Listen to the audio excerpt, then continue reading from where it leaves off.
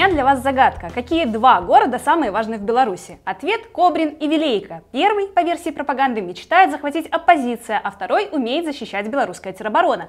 И сейчас я вам объясню, почему. Итак, оппозиция захватит Кобринский район, сказал Лукашенко во время так называемого Всебелорусского народного собрания 25 апреля. Оппозиция хочет, цитата, объявить власть, обратиться в НАТО, ввести войска. Хотя, говорит, непонятно, зачем им Кобрин, могли бы выбрать что-то и поближе к границе, продолжает он. Я бы показала вам это видео, но цитата не прошла даже белорусскую пропагандистскую цензуру и разошлась по интернету с подачи российских медиа. Видимо, даже наши пропагандисты понимают, что кто-то сморозил дичь. Интернет, в свою очередь, живо отозвался на этот спич. Вам по новостям сказали, что Кубинский район хотят захватить. Это что, правда? Да, сынок, это горькая правда. НАТО хочет вторгнуться к нам и окончательно подчинить нас Западу. А как вы думаете, зачем НАТО понадобился Кобрин? Пишите в комментариях. В те же дни заканчивались учения теробороны в Беларуси по пару дней в Гомельской и Гродненской областях и аж три недели в Вилейке. Я, честно говоря, не знаю, как на это реагировать, а вот соцсети знают, нужно искать всемогущую руку глобального Запада, лучше всего Америки. Хотя и этот райцентр тоже не у границы, если вспомнить слова Лукашенко. Было бы понятно, если бы речь шла об одном и том же городе, но нет, не советую искать тут логику. Но если вопрос «почему» очень мучает, то наша Нива пишет про молодого мужчину из Кобринского района, которому угрожает срок за якобы агентурную деятельность. Никто не объясняет, вся эта шумиха разгорелась из-за назначения именно этого парня виновным или по какой-то другой причине. Зато про Вилейку все довольно ясно. Агентов, то есть людей, которых можно назначить виноватыми, нашли уже давно.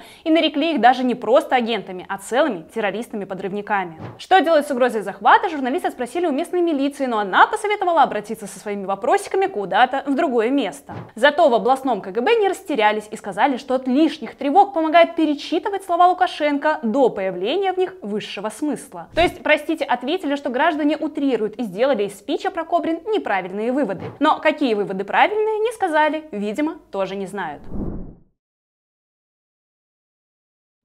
В общем, как вы поняли, в Беларуси астрологи объявили неделю поиска врагов. Напряженность достигла пика. Сейчас я вам на примере КГБ расскажу, как важно при поиске этих врагов не выйти на самих себя. Итак, Запад делает агрессивные выпады, говорит представитель Совбеза. В частности, наблюдается усиление германо-литовского присутствия у границ.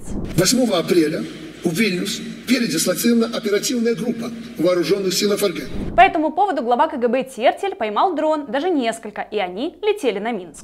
Из других силовых структур в последнее время проведен ряд острых чекистских мероприятий, который позволил предотвратить нанесение ударов боевыми дронами с территории Литвы по объектам в Минске и его пригородах.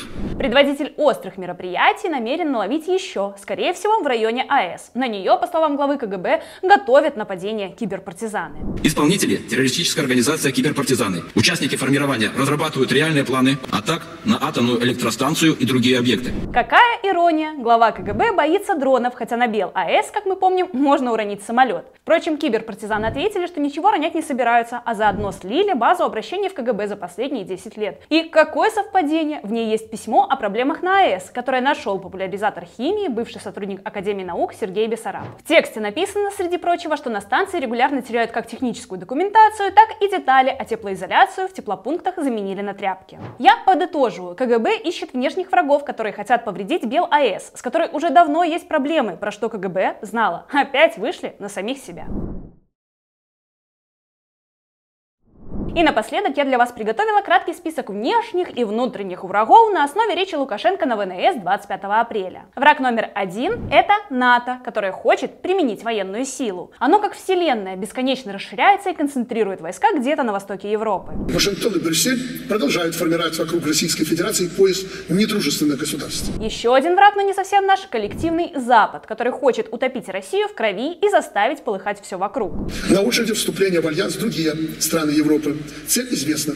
По замыслу на этой линии все должно полыхать. Лично у меня полыхает от того, что враги России почему-то равно враги Беларуси. Но ладно, Запад ведет воздушную и космическую разведку. Задействован практически весь имеющийся арсенал стран НАТО. От самолетов стратегической разведывательной авиации до беспилотных летательных аппаратов, а также соответствующие возможности стран-партнеров. Еще нам угрожает конфликт в Украине. Зацените ловкость рук. Развязать войну помогали мы, но угрожают нам они. Есть также длинный эпизод, где Лукашенко называет войну войной. Но снова обратите внимание на ловкость рук. Он делает парадоксальный вывод, что если Украина не сдастся, то потеряет независимость.